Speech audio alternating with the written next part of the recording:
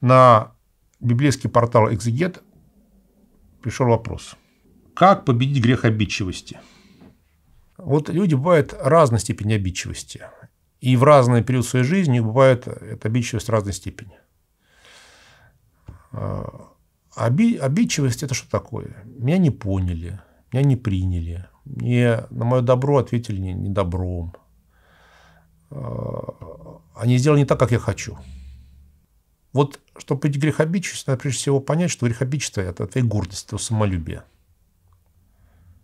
От того желания дать человеку, например, жить, ну, право быть свободным. Право быть свободным. Например, родители обижаются на, на взрослых детей, что они там ну, не, профессию не ту взяли, которую они хотят. Не ту, ну, не, по то, по, не, не, не, туда, не туда, как говорится, поступили. Ну и так далее. Это, кстати, очень серьезные обиды на всякой такой подобной почве. Ну, и так далее. Вот надо просто иметь смирение. Надо просто иметь любовь к человеку. И к этой, ну, именно из остатка этой любви, смирения и любви, а это две а, стороны одной и той же монеты, что называется, у нас есть обидчивость. Человек очень любящий, такой настоящей любовью, он никогда не обижается на объект своей любви. Это, наверное, многим понятно и многим известно. Надо стяжать любовь. А для этого бороться с гордостью. Обиделся, кайся. Бескомпромиссно в своей обиде. Пойми, почувствуй, как гордость привела тебя к этой обиде. Для этого надо, конечно, Богу молиться. Потому что без Бога город с гордостью не справишься. Без, гор... без Бога смирение не стяжаешь. То есть стремись к Богу. Пусть ты будешь очень обидчивый, архиобидчивый, но ты эту Богу, эту рану и покажи, принеси. Господи, вот у меня такая проблема. Я обидчивый. Помоги мне. Я гордый. Я понимаю, что это от гордости. Помоги мне. И Бог – как и самый искусный врач, с большой любовью, осторожностью, чтобы не сделать тебе излишне больно твоей душе, начнет это, это твою проблему врачевать.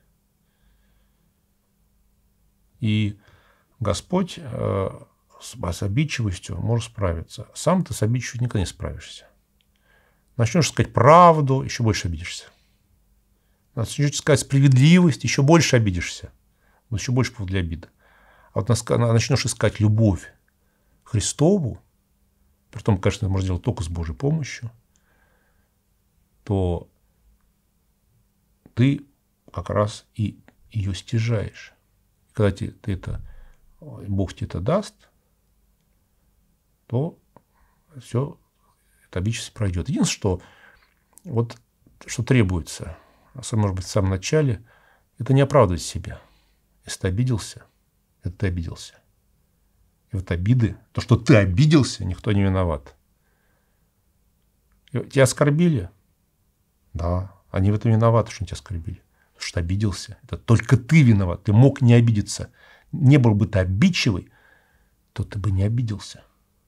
Как бы тебя не оскорбляли. Это ты такой человек. И вот это, когда поймешь, что причина в тебе, начнешь каяться перед Богом, не оправдывая себя тем, что ну кто это выдержит, то Бог тебе в этом покаянии, в твоем покаянии, всегда поможет и, и, и обидчивостью тебя уберет. Тебе, конечно, это будет хорошо. Потому что люди обидчивые, им очень тяжело живется. Они постоянно, э, как говорится, вот они очень такие ранимые люди. Они все время вот в таком состоянии депрессии, стресса и так далее. А если эту бичность убрать, конечно, это путь к такой более светлой жизни. Вот поэтому, но вот еще раз делаю упор, что чтобы Господь тебе помог, ты должен признать, что ты обидчивый, что это твой грех. И тогда начнется возрождение. Внеси свой вклад, оцени, подпишись и поделись этим видео.